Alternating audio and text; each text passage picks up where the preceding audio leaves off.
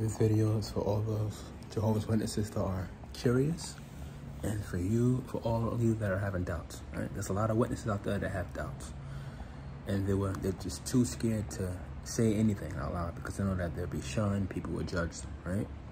But um, I'm here to say what witnesses are scared to say. I can say it, right? I have nothing to lose at this point. Um,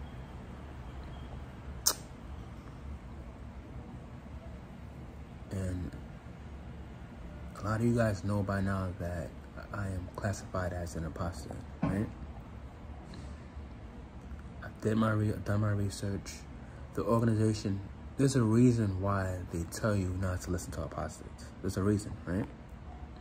Because when you find out the truth about the truth, it will blow you away. It will blow you away. Oh, I thought I was prepared, and um, yeah, you, you nothing could nothing can prepare you for what you're about to learn when you when you learn the truth about the truth. Nothing can get you mentally prepared, right? When, when you're a devout witness and you believe that you believe that everything that these men, everything that the organization is saying is accurate, you believe it down to the very T, right? As a lot of you know, a lot of you guys know that I was born and raised, born and raised in this organization, right? I was inactive for quite some long, quite quite a long time.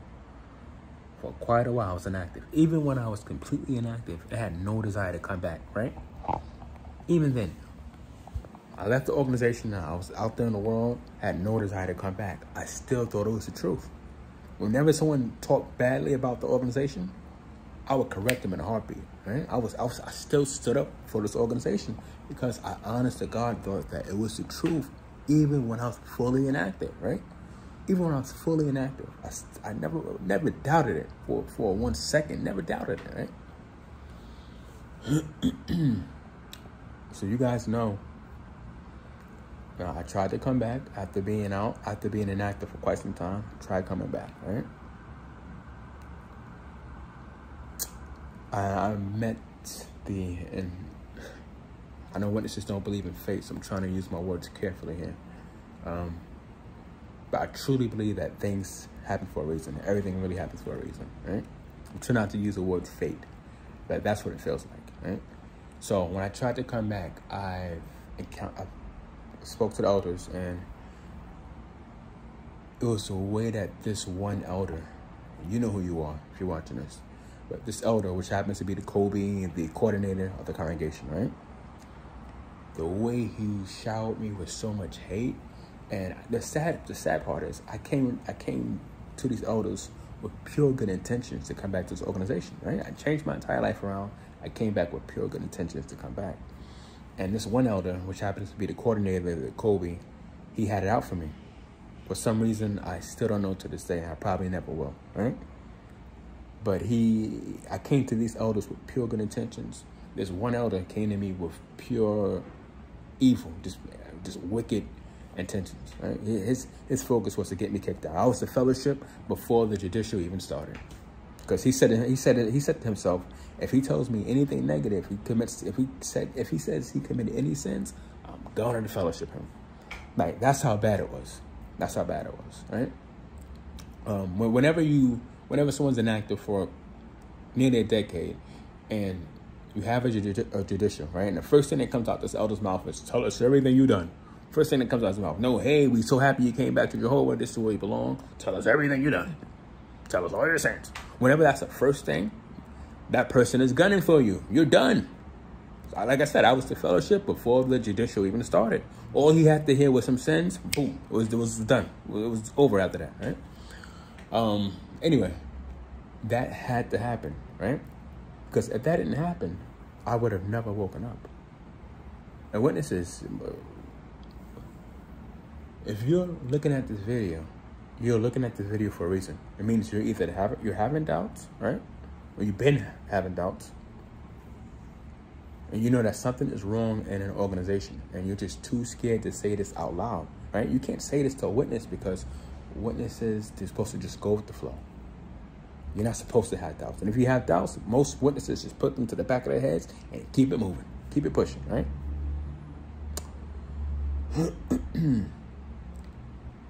now, I realize there's nothing that I can say.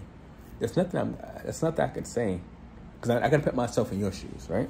If you're a witness and you're having doubts and you're watching this video, it doesn't mean that no matter what I say, I'm not expecting you just to automatically believe me, right? I'm like the governing body, and that's what they that's what they do. They they they speak. they just they just say whatever they want to say, and they expect people just to believe them blindly, right, with no valid proof, with no valid proof. I'm not telling you to do that. I wouldn't. I, am not saying that, right? And when I personally started to do my research, I went in with a complete open mind. I, my, I was completely open minded when I started doing my, my research. I'm, when I say research, I'm not, I'm not talking. I'm not talking about JW.org. I'm talking about real research. YouTube, Google, Reddit, right? When I did research about the organization on different platforms, right? I, I went in completely open minded, and and it's like that's something that it, it, it's sad how that's forbidden. You know, I get it. I, I get why the governing body they tell witnesses not to. You know, that's a big no. No. They tell witnesses not to go on, on online because they know that. They know damn well the minute people start to do some research about this organization, people are going to wake up. And people are going to realize that they've been lied to their entire life. Now, witnesses don't know this because they don't, governing body only, they only talk about the good. They only talk about people coming into the organization. They don't talk about the people that leave, right? But witnesses need to this. The last five years alone, a million people have left the organization in the last five years. A million people have, they started to have doubts, right? They got online, they Googled Jehovah's Witnesses, they, they went on YouTube, and they didn't like what they found out. And neither did I, Frank, to be honest. I could be frank. And I wasn't, like I said, I wasn't mentally prepared for it at first, right? But what do you think about the organization? It's not what you, it's not whatever you, you think you know about the organization, trust me, you don't know. Just like I didn't know. Now, when you have a, a governing body leader, Jeffrey Jackson, you can look at this online. This is not no apostate stuff. This is not apostate. This is something that happened in court. The Royal, the Australian Royal Commission, right? You can look at this on YouTube online. It's not apostate. It's in court, right? Jeffrey Jackson lied under oath. He lied under oath. They asked him, "Can you believe this?" they asked him, "Do you, are you? Do you believe that you're God's spokesman on earth? Right? That you're a spokesman for God on earth?" And you wouldn't believe what he said. That's for you to see. Because if I tell you, you're not gonna, you know, I don't expect you to believe me. But this is something that you have to see for yourself, just like I saw for myself, right? But when you have a governing body leader lie under oath, that's done. When you find out that this organization is hiding pedophiles, there's so many pedophiles roaming free, right? And a lot, most of them are elders. The majority of them are elders. They're abusing their power, molesting little kids, right? And they're getting away with it. They're getting away with it. This organization allows that. That is not an apostate lie. You can look on YouTube. There's thousands and thousands of testimonies of former witnesses. Thousands and thousands. I wish I was lying about this. This is one time in my life. When I woke up, I wish I was wrong. I, sometimes I feel like I wish I didn't wake up because I know what that meant. It meant that I was going to automatically lose my Jehovah's Witness family and friends, right? But once you find out the truth about the truth, there's no going back. Imagine if you was married to a partner, right? You're married to somebody. You walk in a room and you see them in bed with somebody else. You can never unsee that. That's done. Once that happens, that relationship is over, right? So once I found out the truth about the truth, once I heard that this organization is hiding pedophiles, once I read, saw that on YouTube, right? I saw that Jeffrey Jackson, the governing body, he lied under oath about this, about being a spokesman for God, he lied about that. When you see stuff like that, and then when you hear stories of people committing suicide from being shunned, from being disfellowship, or because of some elder abused their power. Right? So you hear all these negative things about the organization. This is not lies. These are facts. These are hardcore facts. They're, not lies. When you see a governing body leader out of his own mouth lie on YouTube, that's a fact. That's not a lie. That's a fact. And witnesses need to know this. Now, if it's the truth, you have to say this. So what do you, why don't they want us to go online and, and, and look on, look on the information? Look on, look, how, why, why don't they want us to go online and, and, and research our, our religion? What are they hiding? What, what, what's so bad about researching Googling Jehovah's Witnesses? If it's, a, if it's the truth, you should have nothing to run away from, right? Think about that.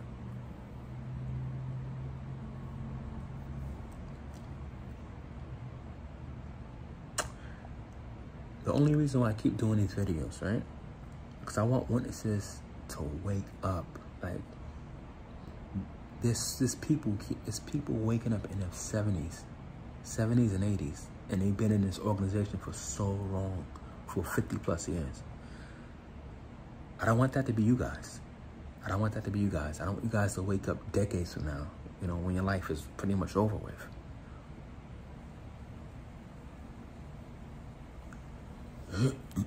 if, like I said, if, you, if you're watching this video, you're here for a reason. And like I said, I'm not telling you to automatically believe me. I'm not saying, just take my word. I'm not saying that. All I'm telling you to do, do your own research, right? And you have nothing to lose. If you don't like what you see online, on YouTube, on Google, or Reddit, if you don't like what you see, guess what? You don't have to continue watching it.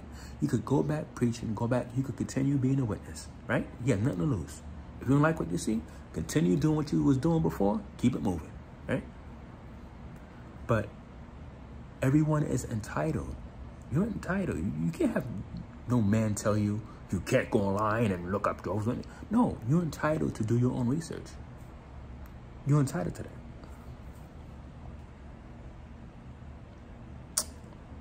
And um, yeah, like I said, I wasn't prepared. I wasn't mentally prepared because I honestly, I thought it was the truth. I thought it was the, the truth of my entire life. Even when I left, I thought it was the truth, right? But when you do your research, you can't unsee. You can't, it's not going back. This is a one-way trip. It's not going back. But that's for you to see for yourself.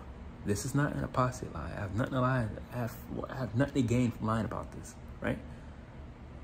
And just keep in mind, like, now that I'm an apostate, say to, you have to say to yourself, I already know that there's no, me personally, I know there's no paradise earth, right? And Jehovah's Witnesses, if you if you truly believe that a paradise earth is coming, right? After this video is over, read your Bible, go on, go on jw.org, right? Read your Bible and look for the word paradise earth. You will not find it. You will not find the words paradise earth together in the Bible. Now, the words paradise, right? It's found, it's mentioned, I think three or four times in the Bible, right? But if you read the entire, if you read it in, in um in context, right? If you if you read the entire verse, you will see it's mentioned three or five, three or four times in the Bible. You will see that each time it's talking about a, a paradise in heaven. It's talking about heaven. It's not talking about an earthly paradise. Like I said, you will not find the words paradise, earth in the Bible. That should be clear indication that there is no paradise, earth coming.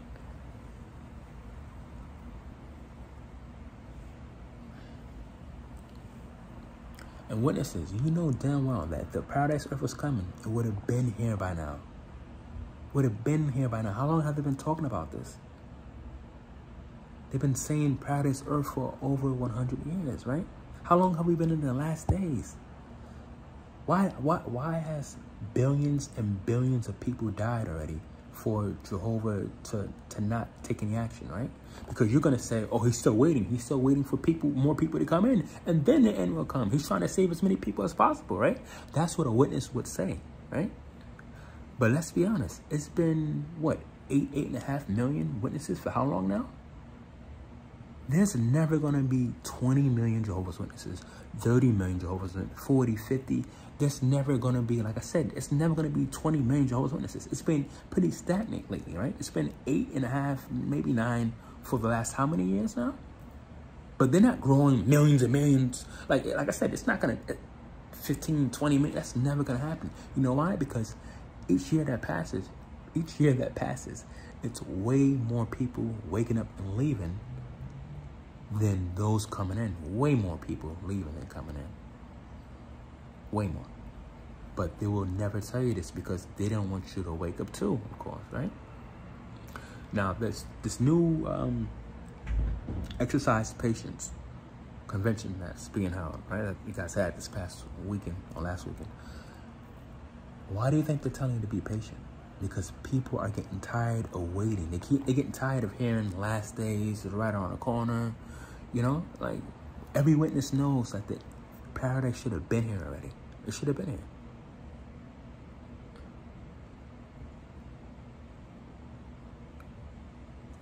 Why would God, why would he prolong this any longer when it's only, it's always been eight, eight and a half, maybe nine million, right? And that's not even accurate because, like I said, there's more people leaving. There's people leaving. Way more people leaving than coming in.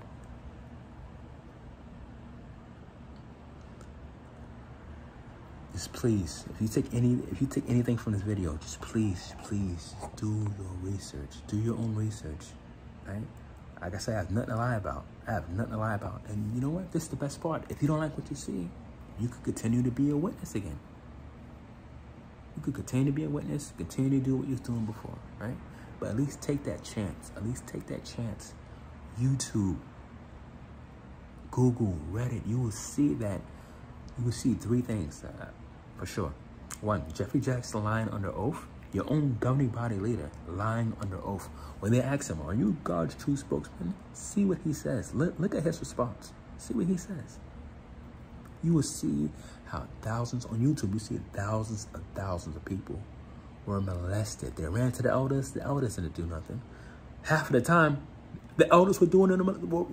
The elders were the ones molesting people half of the time, covering it up. The organization knows about this. The higher ups, the governing body, they know about this. They don't care.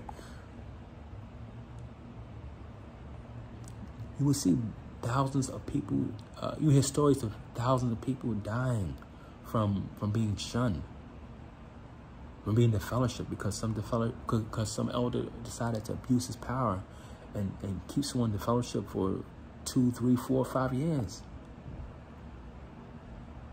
the no blood policy, when you think about it, there's no scripture that backs that up. The scripture that they use, I think it's in Leviticus, they say, um, it's the scripture says not to consume, not to eat, not to eat blood. It don't say nothing about taking blood to save your life. Do you, why would God, Jehovah's Witness, why would a God, why would God want you to die? That makes no sense. Why would he want you to die? So that your loved ones are sad without you in this world, right? When you could just take blood have a medical procedure to save your life. Does that make sense? Why would a loving God want you to die? Your family misses you. Your family's going to miss you. You're not going to be here no more. Why would he want that when you could just take blood and still live, right? And if he wanted you to have clean blood, right? Because they said it's all, it's all about cleanliness or holiness, whatever. He could just snap your finger. He could just snap his fingers, right? And boop, you're clean again. right? Your, your blood is cleansed or whatever. He could do that, but why would he result to you dying? That makes no sense. That wouldn't that wouldn't be a loving a loving God wouldn't want that. He wouldn't he, would, he wouldn't want you to die when you could take blood to save your life. That's all man-made. These doctrines, when you think about the doctrines, they're not there to protect the people. They're against the people disfellowshipping, they, they, they, they make it sound like a so, oh, it's a loving arrangement. No, it's not. Every witness knows deep down inside, that's far from loving. Being disfellowship is far from loving.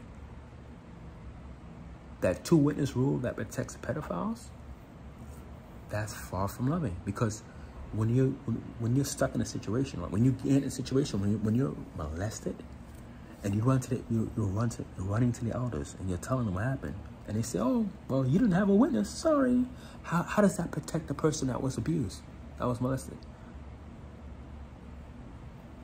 That, that works against, that works against the victim, not for the victim. All these policies, when you think about it, they're not there to protect the people. They're not there to protect the people. So witnesses, if you're watching this, please, you're watching this for a reason. You're probably having doubts, right? You're probably having doubts. And I'm living proof that there is no Holy Spirit. I am living proof that there is no Holy Spirit. You know why? Because I was an apostate. I woke up shortly after I got disfellowship. I woke up, right? I started doing my research. And the elders, six elders from two different congregations said that they prayed. They prayed about it and they welcomed me back in the organization, right? Not knowing that I was an apostate. But I had to do that. I had to do that. The, the, that was an experiment. Those six elders have failed tremendously. Bringing me back in, reinstating me was the worst thing that they can do. Because I've just proven to the entire Jehovah's Witness community that there is no Holy Spirit. This is a man-made organization that claims that they have God's Holy Spirit, but there is no Holy Spirit. Because if there was, then me being apostate, me watching apostate material, I would have never got welcomed back in the organization. If six elders said they prayed to God and that that they felt like I was ready to come back to an organization, that means that those six elders have no Holy Spirit. But I had to do that, right? I had to do that because when it, right before I got disfellowship, when the elders sat me down and they said, oh, you're going to be disfellowship, we prayed about it, right? That was the very beginning of me waking up. That's when I woke up. And I said to myself, hold on, how did they pray? And they said that they don't believe that I'm repentant. And they said they prayed about it, right? And I, in my heart, I knew I was, I was repentant. Remember, I was inactive for so long, for nearly a decade, right? I, I, was, oh, I changed my, my, my life around for two years before I even talked to the elders. I was on the right path. I, I knew God would have been happy about that, right? I was repentant. But these elders wanted to abuse their power. And all they have to say is, said this before, elders have a, a get out of jail free card, right? When you have a judicial with them, if you're repentant, these elders, if they want to abuse their power, all they have to say is, we prayed about it. This is from Jehovah. That's all they have to say. And then you're done. And then it doesn't matter what you say. Or it's sad that elders have that much power that they can lie. They can lie and get away with it. Right? They can lie and get away with it like they did in my case. Well, that, that, that COBE, the coordinated, he didn't like me. He had it out for me. He made it his mission to disfellowship, right? He lied about it. He said, hey, we prayed about it. This is from Jehovah, right? And I had to patiently wait two years to show, the prove to the entire witness community that these men have no Holy Spirit. You know, they shot themselves in the foot by abusing their power. They shot themselves in the foot because I had to reverse the situation and, and show them and their entire witness community that they have no Holy Spirit because they reinstated an apostate. They reinstated an apostate. So witnesses, you watching this, just know that there is no Holy Spirit in this organization. This is purely a man-made organization. It's just men running the show. Men running the show saying that they have God's backing when they don't. They don't. So once again, if you're watching this video, you're watching this for a reason. I just want to encourage you, please do your research. Do your research outside of JW.org. Look on YouTube, Google, Reddit. You will see for yourself that I'm not lying. I have nothing to lie about. Why would I lie? Why why would I jeopardize living? Yeah, why would I jeopardize living forever on a paradise earth? Why would I throw that away? Does that make sense? Does that make, think about that. That makes no sense. Read your Bible after this. You won't, you won't find the words paradise earth. Is that an apostate line? Is that an apostate line? You won't find the words paradise earth. But that's for you. That is for you to see for yourself. All right? So I want to encourage you once again, please do your research. I love you guys. All right?